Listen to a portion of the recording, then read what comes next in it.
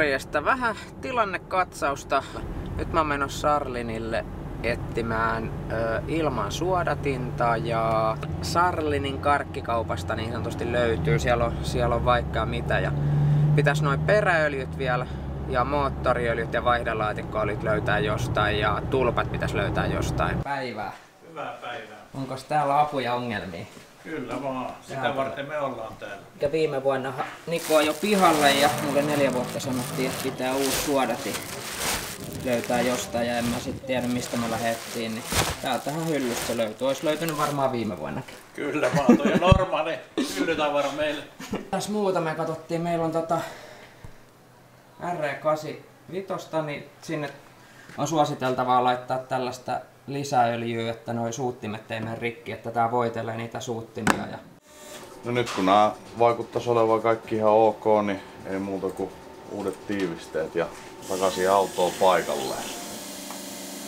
Mitä sä sanoisit niin kuin tällä yleisesti näistä suuttimista, että milloin näitä kannattaa huoltaa ja minkä takia? Tai niin kuin käyttää tarkistuksessa?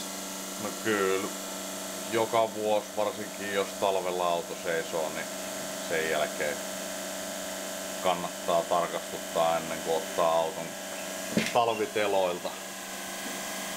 Ja varsinkin sit, jos käyttää etanolia, niin seistessä voi tehdä vaikka minkä näköisiä tuhoja siellä.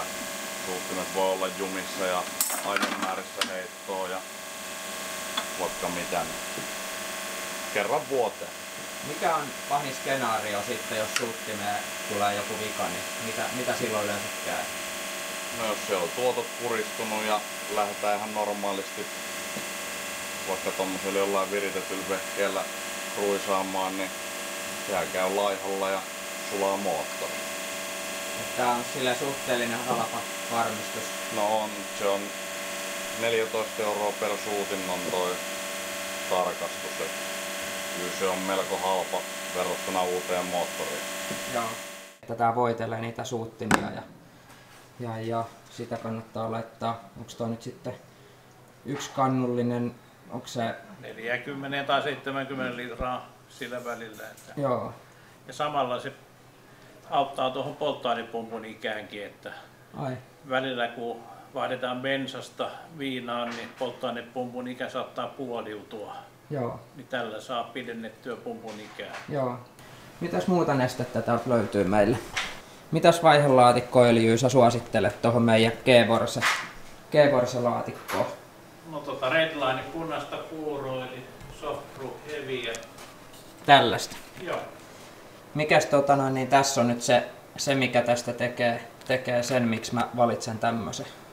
Näin kesäkäyttöön se soveltuu erittäin hyvin ja se suorakytkentälaatikossa suojaa noita kytkentärenkaiden päitä. Huono ominaisuus on se, että ei ole oikein talvimallia. Joo, mutta driftingiä me harvemmin harrastetaan Kyllä. talvella. Sitten siitä on olemassa yksi pykälä ohuempaa tavaraa, mikä on niin kuin lightweightia, mutta eniten ehdottomasti ostetaan tämän tyyppistä ainetta. Että En tiedä öljytilavuutta, niin kai varmaan pari. Paljonkohan näissä yleensä on öljytilavuus? Ostasin kyllä kolmannenkin, jos luulet, että sinne kaksi menee, niin sitten sulle jää Se lisää. on myyntimies. myyntimies. Kenen leipä on minkäkin näköistä. niin. Ja sitten tota noin, niin meillä on siellä si- ihan Nissanin tämmönen tota noin, niin vakioperä, missä, mikä on laitettu vähän kemppiliimaa sinne, niin täältä löytyy alhaalta jotain, jotain tota noin, niin mitäs, mitäs öljyä me tänne laitetaan se sitten? 7510. Eli tämä. Eli tässä on nyt kaksi vaihtoehtoa. Tässä on 75, 90 ja 75, 110, niin Se 110 voisi kesäkäyttöön olla huomattavasti järkevämpi, eli se, se on lämpöisenä sen 110 senttistokea joo. ja harvemmin sitä kylmää päätä tulee tuolle kesäautossa käyttöön. Että Ja ei varmaan taas yksi pullo riitä. ota kaksi. Eli se oli... Kato, siellä on 140 sitten. Onko toi sitten mihin, mihin tarkoitukseen toi 140? Yhdenlaiseen ongelmanratkaisuun, että jos se perän lämpötila, jollain on ollut vaikka perän lämpötila 140 astetta, niin niin on pakko mennä paksumpaan öljyyn, kun se kalvon paksuus menee niin ohueksi. Tai sitten toinen vaihtoehto, että laittaa peräöljylle oma jäähdytin. Mutta heti kun sen laittaa jäähdyttimen, se tarvii myöskin pumpun. Eli nimenomaan tämä on nyt ongelma siihen, jos tuntuu, että se kiehuu se peräöljy, niin nyt kun otetaan vähän jäykempää tavaraa, niin se ei niin heti ole mennä litkuksi Kyllä vaan, se, että, kyllä vaan. että se toimii se perä sitten paljon paremmin ja ei välttis sitten. Onko näissä sitten semmoista ongelmaa, että, että pitääkö sitä ottaa huomioon, kun alkaa käyttää sitä, ettei suoraan lähde niin kuin kylmiltä, että pi- pitääkö se lämmittää sitten perä, Mie- mielellään. että siihen on oikea se Joo. käyttölämpötila. Jotkut ajaa esimerkiksi kierroksen ensiksi hiljaa tai jotain tämmöistä, että se koko paketti lämpenee. Joo, ja mitä paksumpi öljy, niin sitten se käyttö, että varmistuu se, että se tota, toimii se öljy. Jotain autoja pyöritetään jopa paik- paikallaan. Et No me ollaan nostettu peräilman ja sitten joo. vaihteet käyty läpi ja tota, ennen kuin ollaan lähdetty radalle. Jossain hyvin korkeaviritysautossa niitä ei saa edes käyntiin, Joo, jos ei moottori saa lämmintä.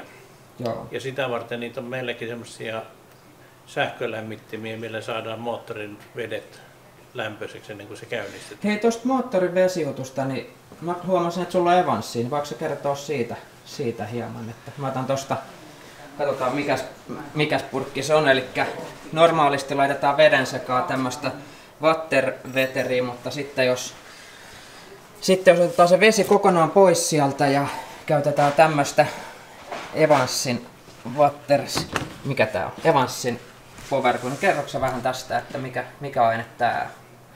No se on niin, että siinä vaiheessa, kun koko vesijärjestelmä on varmasti tyhjä, Joo. tai jäähdysjärjestelmä, että siellä ei ole ollenkaan vettä, niin silloin voidaan käyttää tämmöistä jäähdytysnestettä, joka on vedetöntä, ja se ei ruostuta moottoria, tai siihen ei tule korroosio. Ja se on semmoinen hieno puoli, että sen kiehumispiste on hyvin korkea, niin jossain kohtaa esimerkiksi moottorissa pakosarjan päällä, niin saattaa olla niin, että veden lämpötila nousee liian korkealle ja siihen veteen tulee ilmarakkuloita, niin tämä auttaa semmoiseen ongelmaan. Ja Niitä on 180 näyttäisi olevan. Joo, toi. niin Aika on. paljon. tietenkin se, että kun veden painetta nostetaan korkeammalle, niin sitten päästään vähän suurempaan kiihdyspisteeseen, mutta ei vedessä autokäytössä kovin helposti pääse noin, tai ei koskaan pääse noin suureen kiihomispisteeseen.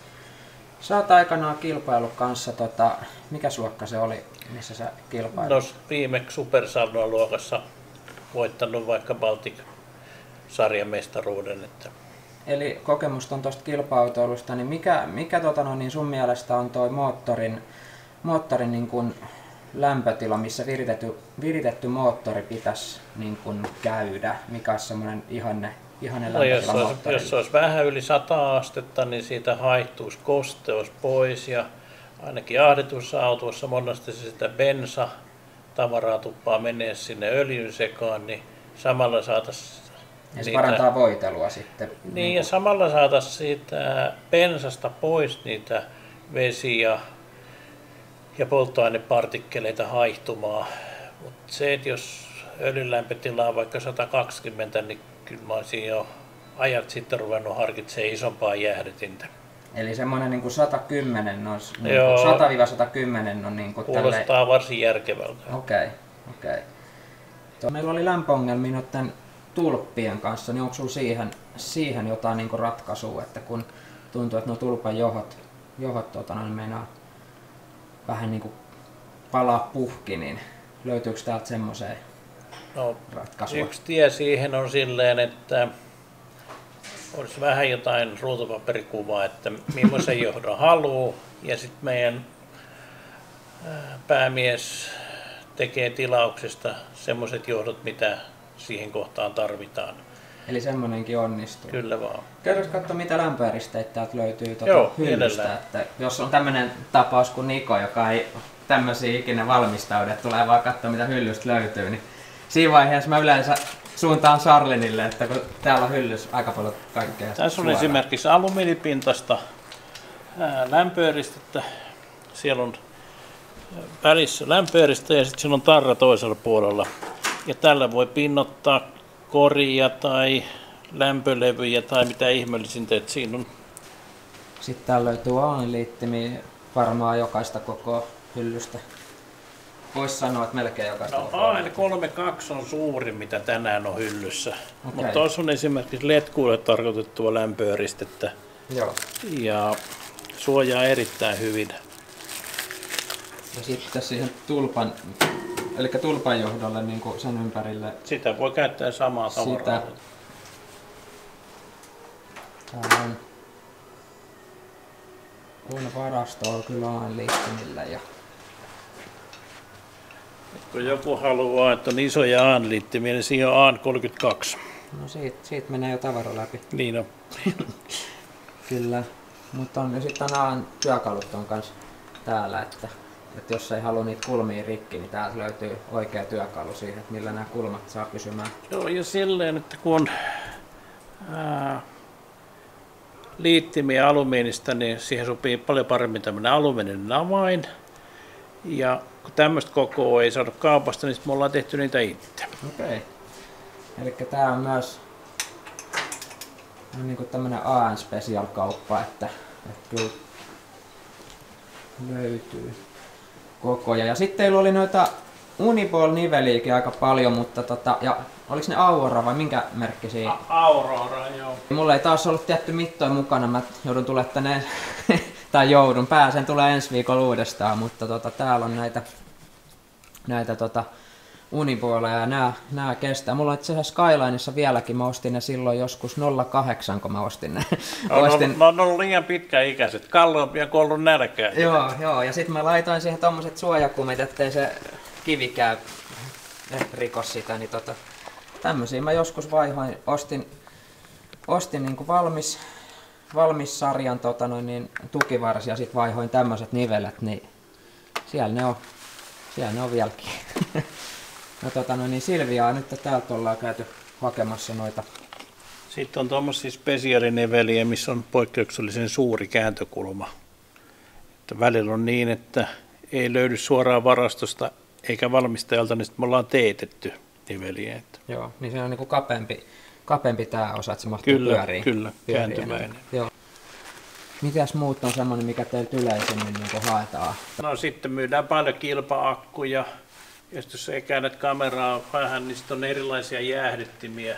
Joo, Tuossa on ilmajäähdytintä ja öljyjäähdytintä. joo. Sitten on vedenjäähdyttimiä. Ja sitten teiltä silikooni noita mutkia ja putkiakin taitaa olla, että siellä on erilaisia käyriä.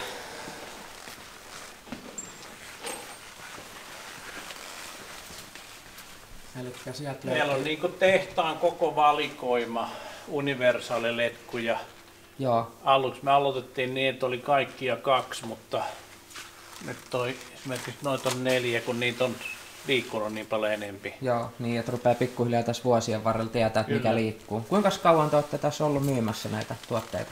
No, tämä yritys on ollut 84 pystyssä, että ei ehkä pitäisi niin suurista numeroista puhua. Nyt mä oon 83 syntynyt, niin tää on heti seuraavana vuonna pistetty pysty, että Nikolle tarvii tämmöisen rakentaa tämmöisen kaupan. Mutta kaikki on alun perin tehty siihen omaan kilpa-autoiluun. Niin- Ja sieltä se on niinku lähtenyt Sitten kun sitten. Suomesta ei ole saanut jotain osia, niin sitten niitä on ruvettu tuomaan.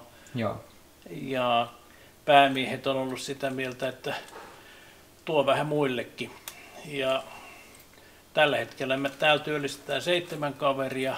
oho, Ja nyt ko- koronan aikana kaikki on ollut töissä koko ajan.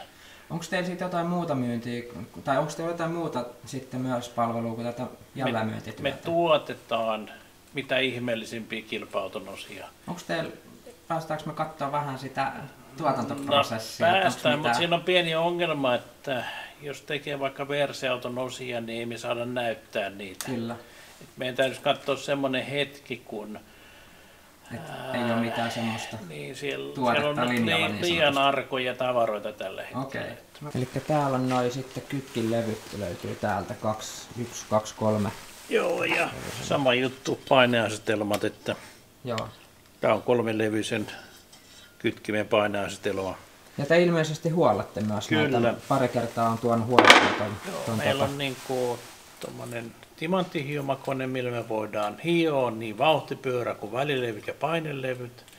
Ja vielä eteenpäin. Jos on kytkin, missä on kytkinpalat, niin me voidaan vaihtaa uudet pinnotteet niihin. Ja me niitataan ne täällä kiinni. Ja tuossa on kytkimen välilevy ja painelevy niin kuin huoltoa varten. Sitten metri. Ilmaletkua ja vaikka jarruille tai melkein mihin vaan. Metritavarana silikoneletkuu niin sinisenä kuin mustanakin. Kohan tos muuten, sattuukohan tos olemaan semmoista jatkopalaa tuohon suorattimelle muuten? Tuossa on esimerkiksi 102 jatkopala, mihin on valmiiksi tehty sikkaukset molempiin päihin. Käyttäen sille, että ensin kokeilet minne se mahtuu ja sitten katsotaan niitä putkia. Että Mutta niin, si- mut siinä, kun sulla on se jäähdytin siinä vieressä, niin, tää kyllä kannattaisi lämpö eristää. Okei. Okay. Minkälainen lämpöeristys nyt sitten tollaiseen putkeen kannattaisi no. laittaa?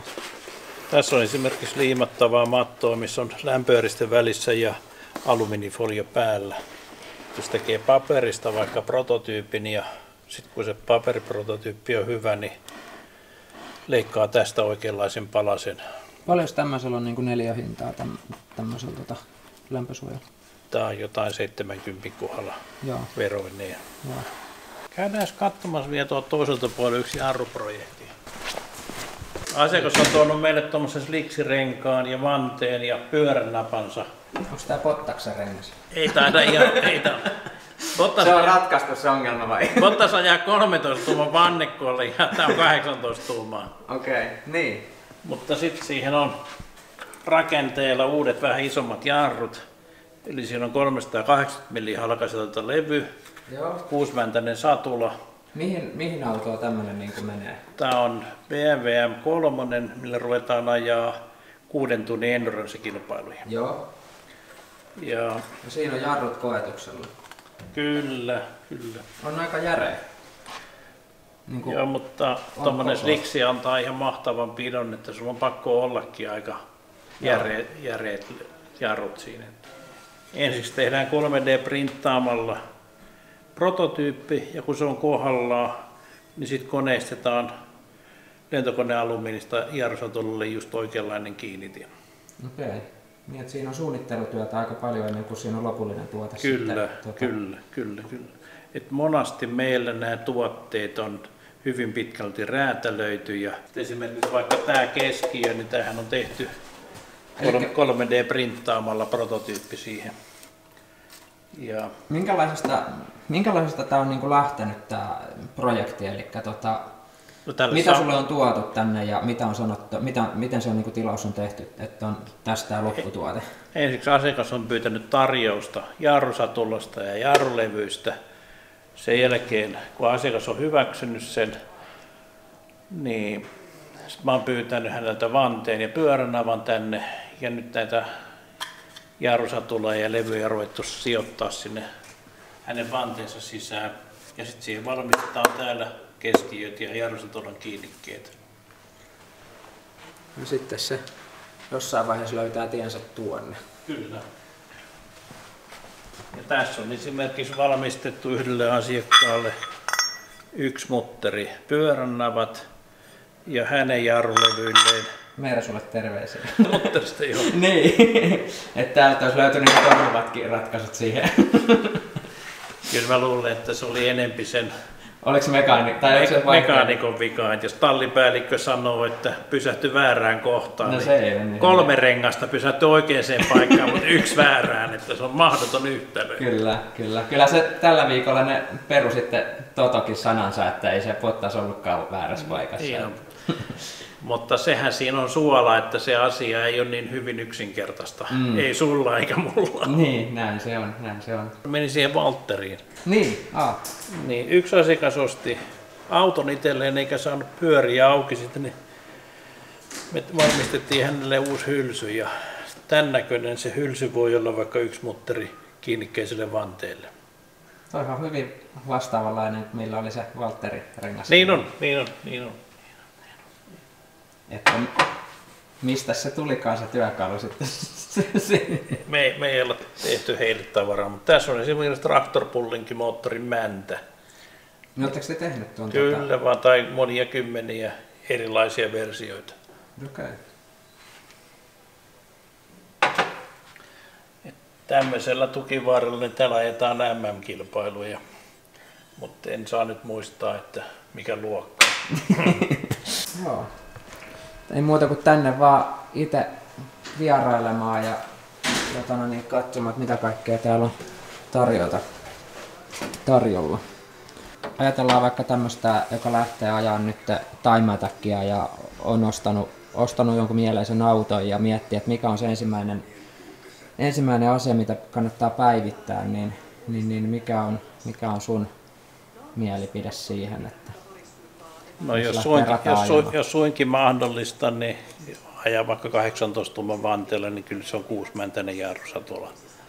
Min- Minkälaisesta hintaluokasta niin kuin sitten kunnon, kunnon jarrut, että millä pääsee niin kuin aloittelija niin sanotusti kiinni siihen, että tietysti se ylärajahan ei varmasti niin kuin ole, mutta se, että mikä on niin kuin se, mistä pääsee jo vähän niin kuin siihen jarrutuksen makuun, niin, että, niin kuin, että No jos pääsee- puhutaan vaikka etujarruista, niin muutamasta tonnista, niin, Joo, niin vaikka kuuteen tonniin, niin sillä pääsee jo tosi hyvin. joo että pari, parilla tonnilla niin kuin, parin tonnin päivitys kannattaa miettiä, että tekeekö sen niin kuin jarruihin vai johonkin turhempaa. Että, Niin, niin. tämä on vähän siitä, että mitä halutaan. Niin. Että.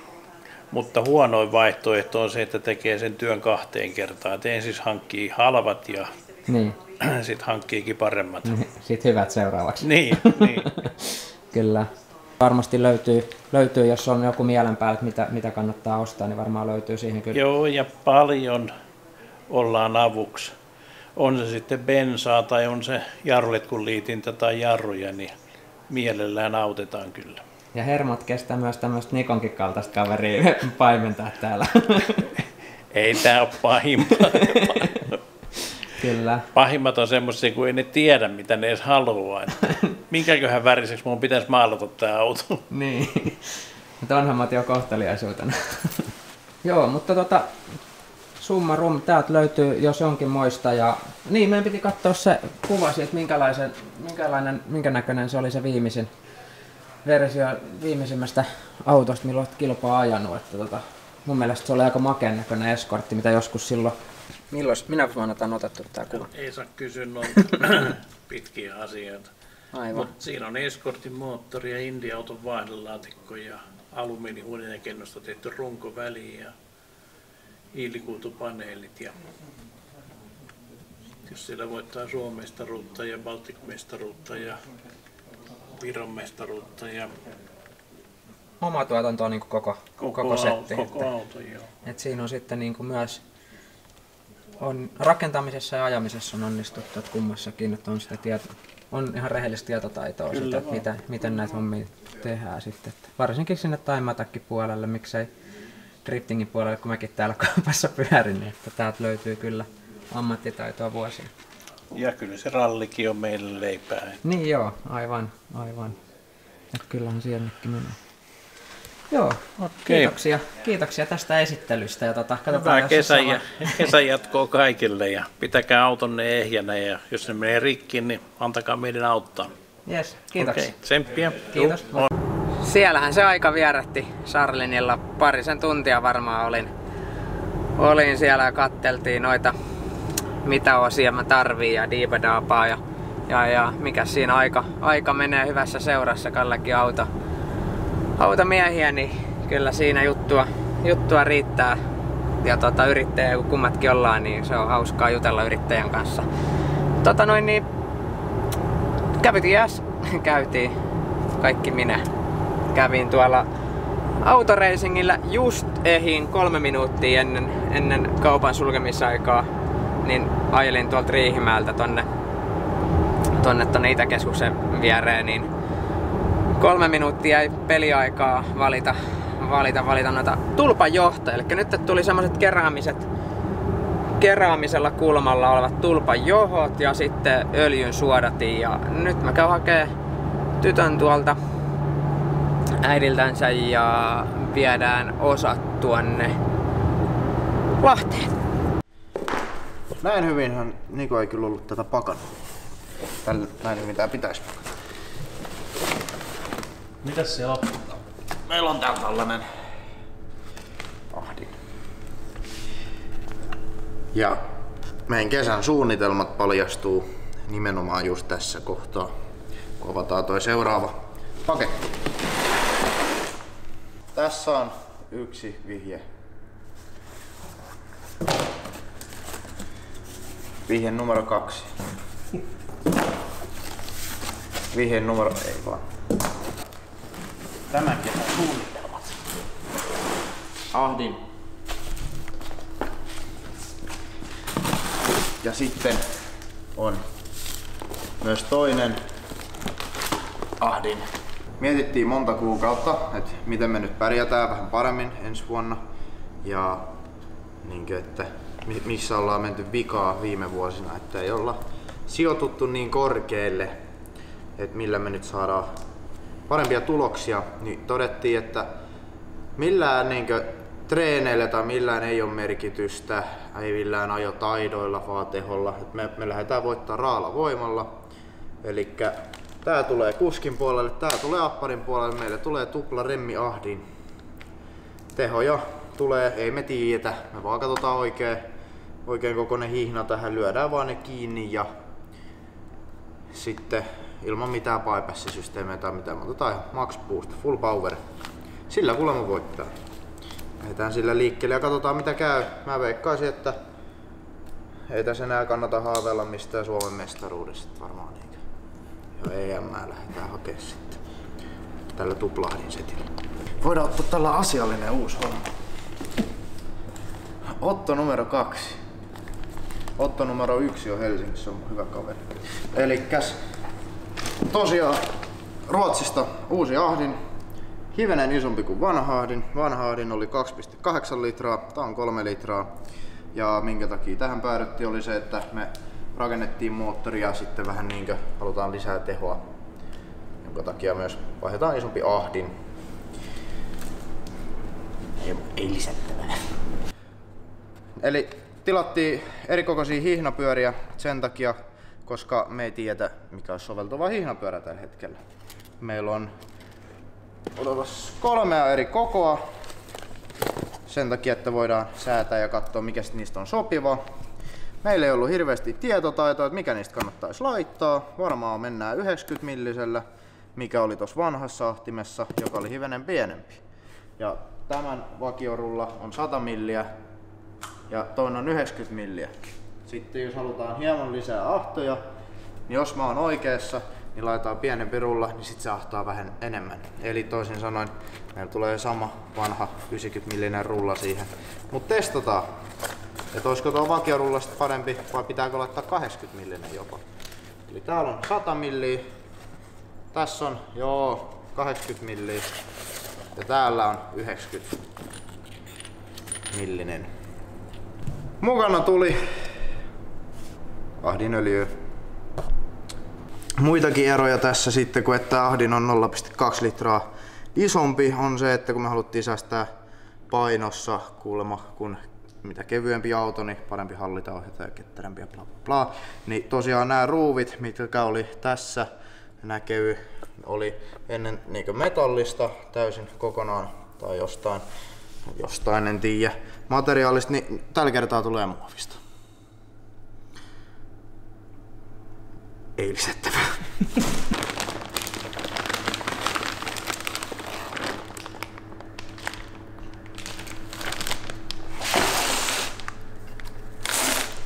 Tää on vähän erilaisempi.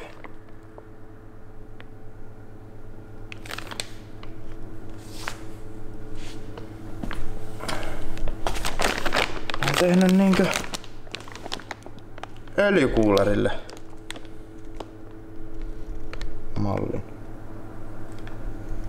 Öljyn kierto, öljyn kuulari. Mitä vittua?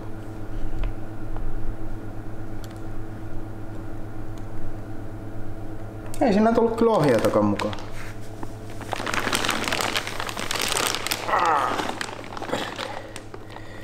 Okei. Okay. Tossa on, ah niin toi oli vanha rulla tuolla.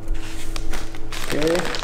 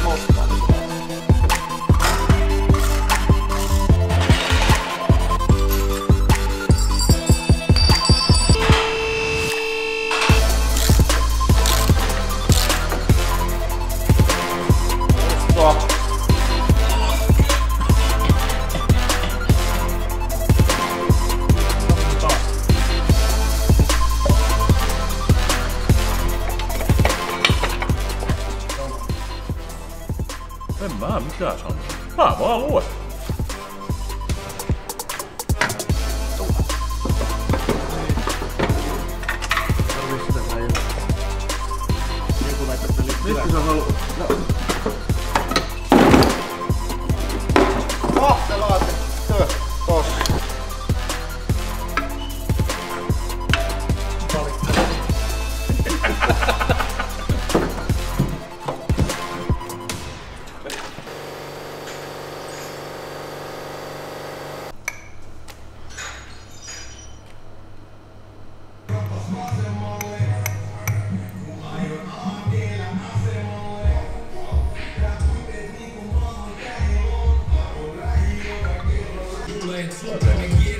Mikä se on? 7510. Ota perä.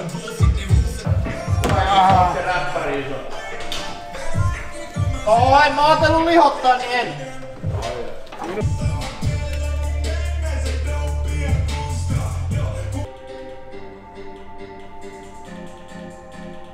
On kova biisi. Laulaa töölöstä. Kotikunnoista.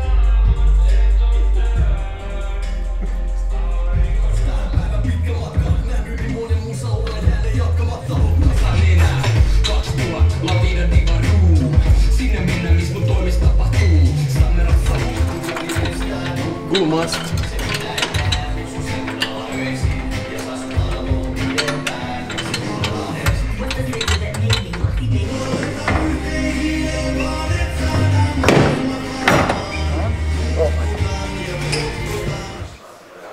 tämmösiä, tämmöisessä purkissa Martteliukselta löytyy ja pakosarjoja tällä pinnoitellaan, eli lämpö pysyy, lämpö pysyy oikeassa paikassa. Pakosarja. Toivottavasti saadaan vähän viileämyksi tätä konehuonetta. Pikku paniikki on tästä päällä. Tota noin, niin me odotetaan tuolla Keravan työmaalla, mutta tässä ohi mennessä mun pitää käydä tuolla Veholla vielä hakemassa semmonen, semmonen, semmonen joku ahtimen alipainesäädin dumppi tai tommonen hukka, hukkaportti. No niin, hukkaportti, mutta se on muovinen hukkaportti. Anyway, ja mä kävin tuossa Finjektorilla hakea tulpanjohtoihin toiset päät. Tuomas auttoi siellä hienosti ja sitten huomiselle mä irrotan noin suuttimet ja sitten öljynpaineanturi ja vedenpaineanturi ne pitää ottaa irti, niin mä vien huomenna ne sinne tota Finjektorille, niin tulee oikeet sitten, sitten, mut joo, kyllä tässä kiire tulee. Kiire tulee, katsotaan ehditäänkö me, yritetään ehtiä. Tsemppiä, yritetään tsempata, tsempata, tsempata, tsemppari, tsemppari. Morjesta. Hei, miten menee? Mitäs, mitäs teillä menee? Mulla menee ihan jees. Hei, pitää ottaa ne tota, se liitin.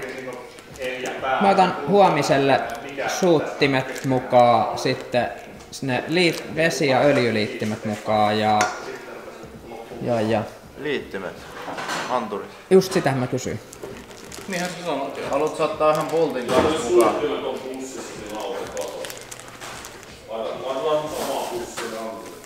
Joo, yes. Pitäisikö antaa yksi pulttikin mukaan? Annetaan yksi pultti mukaan.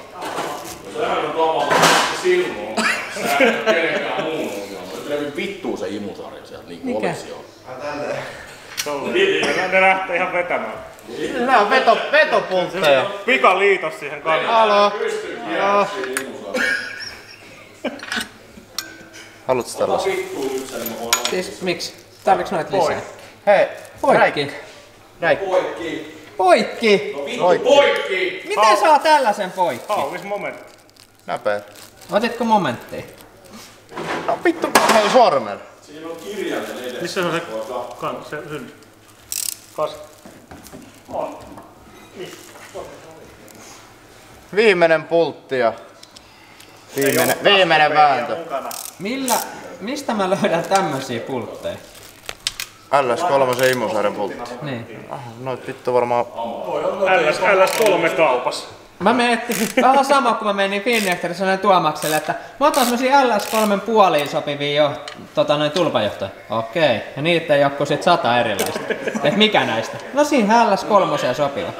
Nyt mä tuun seuraava, huomenna mä tuun hakemaan LS3 sopivan pultin. Käyt moottoritis matkaa kyllä sieltä. Öljy plus vesi. Mikä se on? Anturi. Mut mikä, onko se lämpöanturi? En mä tiedä itsekään.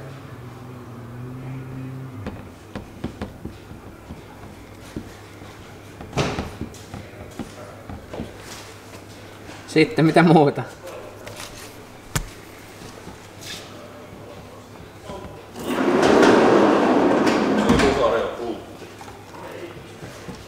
Ota numeroita ylös. Seitsemän. Bingo! Po- mitä? 12, Siis se aloita alusta. 12, 12, 55, 55, 23, 23, 44, 44. siinä se. Siinä se. Sitten. Tuossa on varaosanumero, niin saat. No soitatte siihen tänään. Mistä? Mistä näitä saa? Imusarjan pultti. Kaaosta. Ei tää näytä oikein hyvä. Tästä vai? Käydäänkö pommihen auto? Joo. Voitaisko käydä hakea ruokaa? Niin varmaan. Kiva syödä kerran päivä. Se on kiva syödä kerran päivä. Mikä se vesianturi oli? Koitus. Ei aivan. Ei oo toiminut pari päivää. Tota noin niin... Ei, tää on Niko pelkkä kaunis kasvovahe. Ei oo. Eikä mikään Siellä on hieno paita myös. Eikä mikään hatu, hatunpidike, että... Hei, kiitos. You're welcome. Yes. Ole hyvä, ole, ole hyvä Joona. Joo, kiitos. Tuliko sun luotiliivit mukaan? Mies me ollaan menossa? Mua vähän jännittää. Mikä paikka tää on? Mennään pommihenkalla. Sekin vähän jännittää. Luotiliivit ja pommi. Mikä, mikä tää, miksi tätä sanotaan tätä Orimattilaa? Mä sanon tätä Orlandoksi. En mä tiedä Miksi muut? muut sanoo. Joo, käydään hakea tota...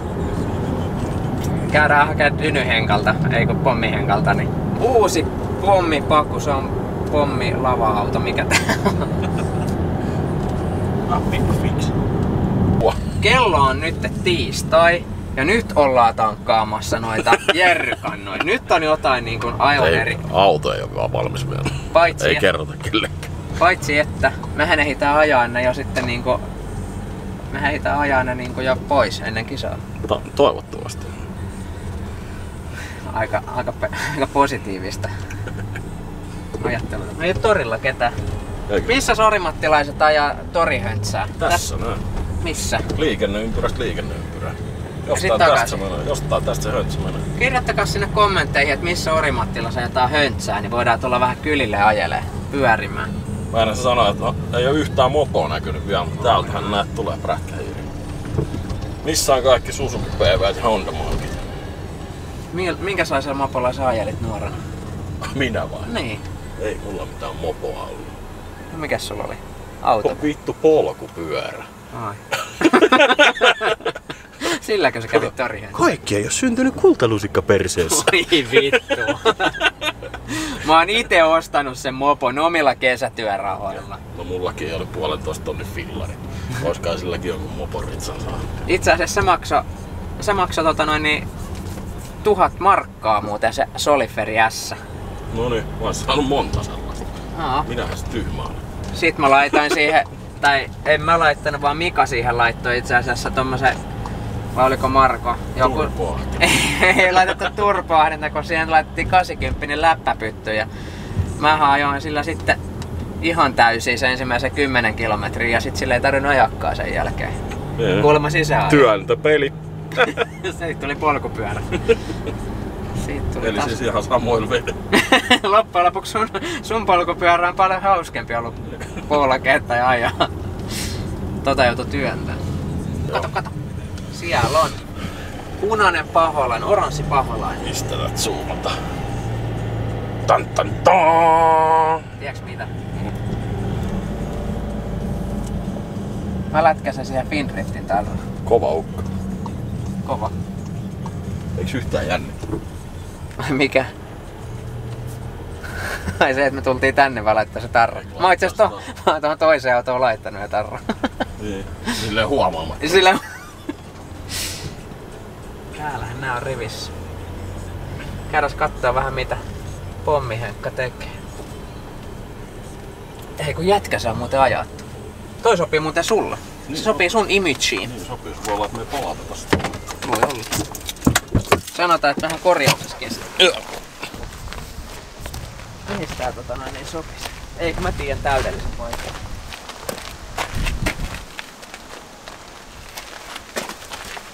Näet pitää olla tässä on monta täydellistä paikkaa. Olisiko täällä ehkä paras? Onks tää nyt se yliteiva? Palautetaan se. Olisiko tässä hyvä? Official. You are fin. Yes. Pidääkö täällä ovi lukossa? Onko tää niin Ei. paljon rikollisuutta? Me ollaan Orimattila. Morjesta! Mari. Onko Sehän on, niin paljon rikollisuutta, että pitää pitää ovet lukossa? nykyään on Orimattila tämmönen uusi Chicago. No niin. Ei se oikeesti mutta kun on niin hitokseen hommia ja koko ajan porukkaa käymässä tässä, niin mä oon silleen, että pakko pistää ovet lukkoon.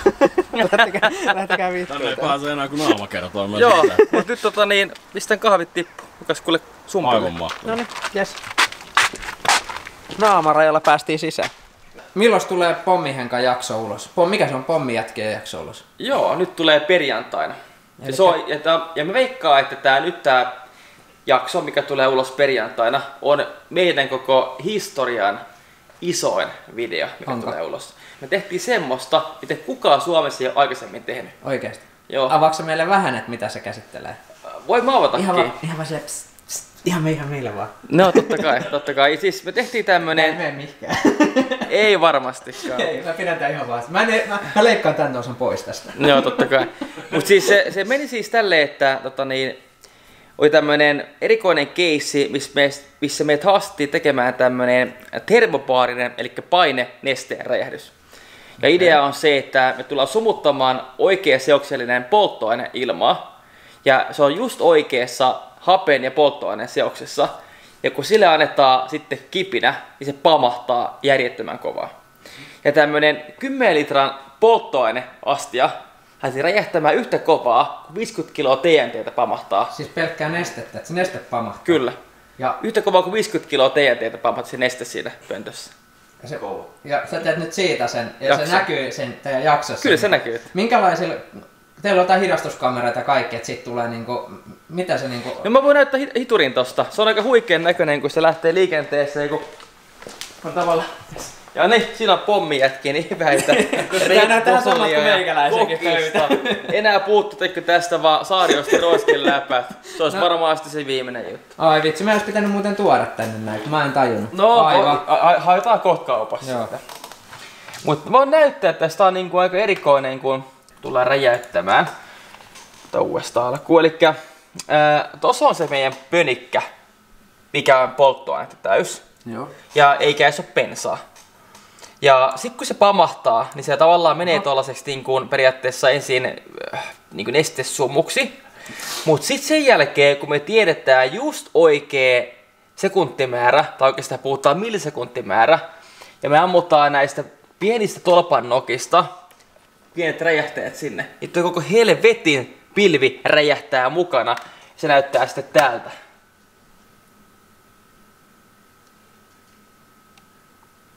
Ui. Ja, Ui. ja sen jälkeen, että noin, niin On. Voi, nä- oi, oi, oi, oi, oi, oi. ja voi oi, näyttää, oi. mitä tuhoa se tekee sen jälkeen. Tähän ei vielä mitään, tää hituri. Se on meidän kaupunki, mikä me tehtiin. Ja se pommi pamahtaa niin täällä kaupungin ulkopuolella. Niin kattokaa, mihin kuntoon menee meidän puiset rakennukset tästä Ja hommasta. tää on siis pelkkää nestettä. Kyllä.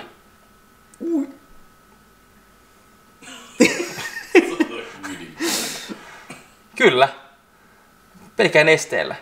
Haatiin tommonen helvetinmoinen atomipommi aikaa. Mm, okay. Siinä katot lähtee lentoa kuulee rakennuksesta, bannerit lentelee ja tämä meni ihan tuhannen paskaksi tää meidän kaupunki. Ja pelkästään puhutaan, että nesteellä tehty räjähdys. Joo. Eli seuraavassa jaksossa niin on tota muun muassa tämä ja, ja, ja teidän kanavan pääsee löytää tuolta, oliko se pommijätkä? No, kyllähän sä tiedät mikä se on. Se on pa- Oliko se pommi? Oliko se Olikohan se? No oliko? En, en yhtään muista. Heitäs pikku insertti sinne. Joo. No, tä, Mä- täs, tä, täs, tässä pyörii semmonen lo, laatikko, missä Joo, nyt kato meidän... kun mä editoin sen. No, tässä on oikeesti jättiläis sellainen penis tässä oikeesti. Joo, tä- tässä se jätti. Joo. Tilatkaa kanava. Hei, ei mitään. Mut hei, Silleen. nyt pistän kahvetti. Yes. Sen äh, Kossupullon. kossupullon ja jonkun isot tissisen, Niin siis- isot povisen naisen käymään siellä. Niin siis, toiko tän sen takia meille, että me tunnetaan katsastusmiehet? Joo. Joo. Koska ongelma on se, että tuossa autossa on aika paljon kaikkea. Kukaan ei suostu katsastaa sitä. Sit sä näet, Niko, Finrift hoitaa tän kuntoon. Kyllä. Mitä pommeja me saadaan tästä eteenpäin? Kyllä, pel- pelkästään tuossa on se, että toi auton mittari vähän huijaa. Kun sä ajat tuolla käytännössä semmoista 230, Me huijataan takaisin. se näyttää, että lähes 200 sen kanssa. Se on ihan tappii se mittari heti sieltä. Ja se voi olla, että siinkin sanoo vähän leimamies sitten, että tää näyttää vähän väärin tappi sinne. Ei se aja katsastusasema pihassa kuitenkaan 20. Ping! Niin lyö se siihen stopparin siihen. Ensi, ensimmäinen ongelma. Niin. Ding! Ratkaistu. Mitä vaan- muita ongelmia siellä on? Joo, mutta se on joo, siinä on kyllä hirveästi... IP-ruumimittarista siis moni on miettinyt sitä, että miten niin ongelmat ei mukaan ratkea kahvipöydässä. Niin tässä on niinku ihan elävä todiste siitä, että me ollaan jo ensimmäinen viikko korjattu kahvipöydässä. Keksi jotain muuta. Mitähän toi rattilukko sitten saisi siihen kytkettyä Onko kiinni? sulla aploita? Vanha, vanha kunnon munalukko ja ketju. ketju ja upload-lukko siinä. Tai mä en tiedä, tarvitsetko sitä ketjua, että riippuu se pelkkä... Rattilukkoahan saa kaupasta ostaa. Niin, mutta kuin se toimii se rattilukko? Se, onko se joku erillinen vaan? Joo. Et Se on putki, mikä Koska työnnetään. mullahan tavallaan on tuossa vaan niin nimenomaan suora putki ja sitten ralliratti. Mm. Ja siihen ei ole mitään kytkentäpaikkaa. Mutta jos se on joku semmonen erillinen, Eikö se voi lainata sellaisen niin kuin, oikein kuuluvan ratin leimalla? Siis voi varmasti. Mutta nyt mennään katsomaan sitä ongelmia tästä. nimenomaan hommaa on kyllä jätkettä so, nyt siinä autossa. Just sillä jätkät hei. Siis- te, mihin te olette? Joo, se oli silleen, että se oli kolme viikkoa yhden huoltamon pihalla, tai korjaamon pihalla. Ja sanoi se kaveri, että jää pois se täältä. ei tuu onnistu.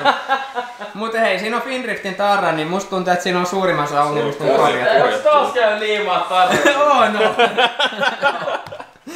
siis täällähän on... Täällä on tarra. Missä, mihin kaikki mä oon piilotellut niitä tarroja? Täällä on mikrofonissakin tarra. on joka paikassa. Siellä on tarra. Ja hauskin paikka, missä on Findriftin tarra, on meidän paskahuus siinä napin päällä on kanssa. Mä en tiedä miksi siinä on tarra, mutta käypä katsomaan. Taitaa Niko laittaa.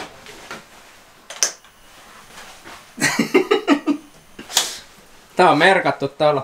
Se on, se on merkitty. Vähän niinku tommonen koiramerkka aina paikassa. Mä oon vähän koira. Ja sitten seisottojarru, eli jarruissa on vikaa. Veikkaa onko ongelma se, että tää on seissyt paikallaan niin monta vuotta. Saattaa olla, että jarru vikaa vähän siinä ja laahaakin vissiin. Ja sitten niin kun, mä en tiedä onko sitten näissä mitään ongelmaa näissä prosenteissa sitten. Ei se lukisi sieltä osu tuohon. Niin just siis. Mutta tämähän on kato, tämähän on kato aika vanha jo. Niin Et mä en tiedä onko Se mitään. menee, ei edes menee uudella katsasta. Just näin. Mut siis te ootte hitsannut sen. Tää on hitsattu joo. Ja tää on myöskin kokonaan tehty uudestaan pohjasta. Että tää on niinku sen suhteen tää kunnossa. Okay. Itse asiassa oikeastaan mitään vikaa. Hei, mulla tuli idea. Mä ajan tän tota saarelle. Mulla on yksi hyvä kaveri siellä. Se on jenkkimiä hei. Onko näin? Tää on jumalauta homma eikä mikään. Jumalauta. Sitten on hyvä. Öö, itse oikeastaan mikä on ongelma on se, että tähän on nämä levikkeet tähän laitettu. Näissä puuttuu jäykkärit vielä. Sitten tässä ei ollut sivupeiliä ollenkaan tällä puolella. Tai on, mutta siinä ei. Sitten onkohan näihin saatavilla mitään sellaista, mikä tän sitten niinku fiksaisi? On. Vai pitäisi vaihtaa kokonaan suosille joku uusi sitten? Saako tuon liimattu jo peilin kääkelä? Ja siis- safluun on tästä. Meillä on sellainen lasiliike siinä vieressä. Oi, Se, ei, se, se, on vähän erilainen suurennus kuin tällaisessa autopeilillä, mutta se menee leimasta läpi. Eikö se riittäisi kyllä? Joo. Ja Haluatko sitten punaisella vai vihreällä? Peilille. mennään pinkillä. Yes. Tää Sami, mennään Fintriftin, pinkki peili siihen. tai Fintriftin vihreälle. Yes. Ja sit mä en tiedä, onko se mitään väliä, että yksi pultti puuttuu renkaasta, mutta jos löytyy, niin voi Voi olla. Täytyy laittaa se. Joo. Elikkä sitten Tää on sellainen kategoria, että maksu mitä makskuntoa pitää saada. Tuossa laitetaan dollarin kuviin nyt että tähän editoidaan videolla. Joo, nimenomaan. Joo, tää oli 72 300 tämä. Ja tuhanteen. Joo. Nyt tuodaan uusi lava Joo, nimenomaan. Samoin väritykset. Please bring, bring, bring, Hei, sitten- my ride. Sitten kuuluu kysymys sitten. Paljon lisämaksusta tulisi lisää hevosvoimia tähän autoon vielä? Vai kannattaako tähän laittaa lisää hevosvoimia tähän autoon? Mikä moottori siellä? Joku kutospaskahan tässä on. Me vaihdetaan sinne LS. Ällässä. Mikä on LS? No sä tuut huomaamaan sen laskusta sekä tehoista. Joo, tää oli 62 000 kanssa tää LS. Ei niitä niin halvalla saa. Eikö siis se on 10 tonni? Mantsalassa on yksi ällässä. Siis meillä on Kilpuris LS kolmonen. Siis se on moottori siis. Moottori, joo. Se pitää irrottaa vaan pistää Joo. tänne kiinni. Joo, mutta siis siihen kustaa- saa ihan sitä- vitusti teho. Siis tämmöisessä autossa pitäisi olla V8. Niin pitäisi Siis se olla. on V8 moottori. Haluatko tähän V8 moottori? siis tässä pitäisi olla. En mä myyntimies ole, mutta siis tämmönen tässä pitäisi olla. Että ei No tää- e- ensinnäkin, ensinnäkin kysytään, että Eikö onko, tää promoauto? onko semmonen mahdollista? On. Oo, tätähän on tehty V8. Hei, jos toi on mahdollista, että tää saisi V8 koneen tähän, ja tää kone vielä kestäisi sen, mä en tiedä kestääkö tämmönen. Eikö? Siis ai niin, että kestääkö tää tää auto? autosta V8? Totta helvetti. Tää kestää mitään, vaan tämähän on pommikone. Se on ihan totta. Käydä Jussi. Pistetään kestämään. Joo. Mutta tota niin, joo. Haluatko semmoista Se on putket? homma eikä mikä. Haluatko sä semmoista putket vielä tosta tonne ylös? Tässä on makea kuitenkin tänne saa Tommoset ka- niinku ison, putket tonne. ison kaaren tähän taakki ja sit Tiedätkö sä siitä Nikka, mitä mä tarvin tähän? Leimaa tähän paperiin. Mikä Se mä tulin, budjetti? sitä, sitä, sitä, mä, sitä mä tulin hakemaan.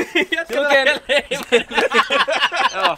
Mulla on kohta myyty täällä crafterit ja uudet autot ja Ei, kun me myydään moottorit. vaan moottorilla tähän ja pystyy Kyllä me leima tähän saadaan. No. Siis ikinä ei hö- niin kiire, ettei höntsällä kerkees käydä. Niin joo. Tää on kyllä hauska.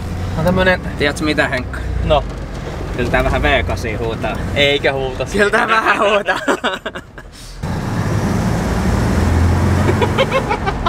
Tuo on heti 200 mittarissa. Kaveri vetää luupokalla 200. Joo. Täällä ei täällä Orimattilan kylän raitilla ajella. Joo. Joo, turhaa sitä mittaria vilkuille, se on 200. Joo. Aika nopeasti kyllä. Ai, nyt tullaan Orimattilan keskustaan. Kato, siellä on mopojonnet on siellä. Oh, Laitat sä ikkunat kiinni? Tämä pistä ikkuna auki. Kun tää pykkäys menee huuruun. Kato. Siellä on. Rupes. Joo, joo, kato. Oppii olemaan. Keskellä Kato, kato se peilistä. No ku... Mä täytyy katsoa vähän tästä takapeilistä, mikä on vähän isompi tässä. Ei, kyllä tästä pitää pimeätä puti. No niin, Mitä sä teet? pitää ostaa Heikka kaupasta. no, juustoa ja jäätelöä ostaa. Ja puhutaan. Orimattilan nuoriso. Ja yleensä ne on tullut parkkiin tuohon, tota no niin, siis traktoreilla. Kaikki näköisillä mopuautoilla, että nyt on aika vähän porukkaa nyt Siellä on vähintään yleensä kolme traktoria yleensä parkissa, nyt on vaan nolla. Suunnitellaan lisää hallilla. Hirveä kokoinen Hei, kiitti. Joo, mä luulen, että tästä hyvä lähteä rakentaa. Mutta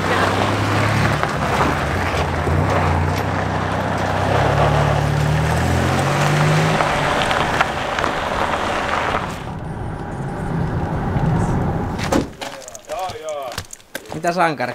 Ei mitään, mitä toinen. Ei mitään. Ei Onks kivaa? ihan putkeen vielä nää hommat. No, Sä toit, sä, sä, sä toit semmosia jotain tulpahattujuttuja. Puolan päin. joo. Toiko sä ne, mitkä mä tilasin siinä tiskille? Joo.